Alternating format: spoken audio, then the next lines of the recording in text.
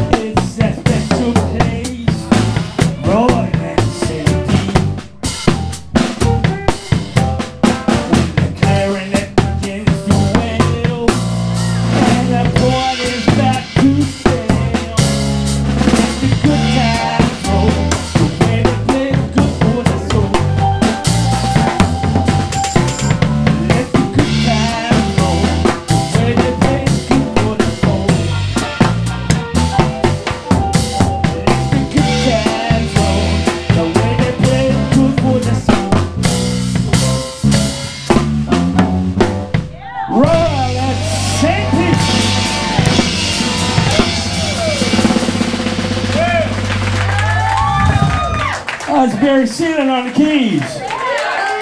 Boy, I felt like New Orleans. I could just see and smell the light.